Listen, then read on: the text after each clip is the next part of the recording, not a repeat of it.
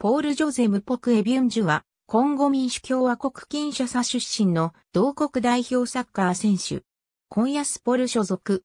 ポジションは FW。スタンダールリエージュのユースチームでプレーし、2008年6月にイングランドのトッテナムホットスパー FC へ移籍した。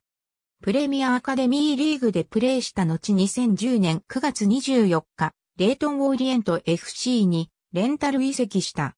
9月28日、ウォルソール FC 戦でプロデビューを果たし、ドロイルスデン FC 戦でプロ初ゴールを記録した。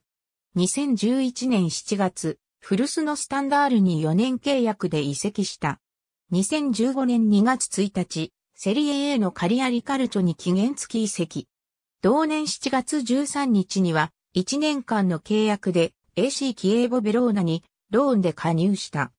2016から17シーズンは、キエーボに完全移籍した上で、ギリシャスーパーリーグのパナシナイコスへのローンでプレー。レギュラーの座をつかみ、カップ戦含め36試合4得点を記録した。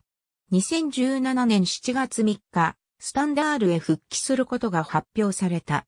2020年1月21日、アルワフダアブダビに移籍した。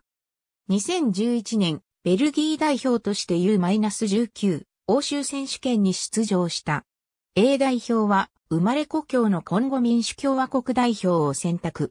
2015年3月28日に行われたイラクとの親善試合で初出場し、初得点を挙げた。ありがとうございます。